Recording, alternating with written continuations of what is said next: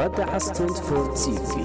Waa wehelka waxaad tabayso madaxweynaha maamul goboleedka puntland mudane siciid cabdilaahi deni ayaa soo kormeeday shaqada wasaaradda maaliyadda puntland ee caasimada garowe gaar ahaan waaxda dejinta miisaaniyad sannadeedka labada kun iyo sagaaliyo toban ee maamul goboleedka puntland. Madaxweyne deni ahna madaxweynaha maamul goboleedka puntland oo ay ka go-an tahay u kuurgelidda iyo koorjoogtaynta shaqada ballaadhan ay maamul goboleedka puntland u qorshaynayso inay saro u qaado dakhliga dalka iyo qaabka ay u socoto shaqada wasaaradaha ayaa uu kulan gaar ah la qaatay wasiirka maaliyadda madaxweynaha maamul goboleedka puntland. Wasiir ku-xigeenka wasiiru dowlaha wasaaradda xisaabaadka guud ee dowladda agaasimaha guud ee wasaaradda maaliyadda iyo mas'uuliyiin waaxda miisaaniyadda ee wasaaradda maaliyadda maamul goboleedka puntland. Oo dhowaan loo horgeyn doono golaha xukuumadda iyo golaha wakiilada maamul goboleedka puntland. Wasiirka wasaaradda maaliyadda maamul goboleedka puntland mudane xasan shida cabdi abgaal ayaa ka warbixiyey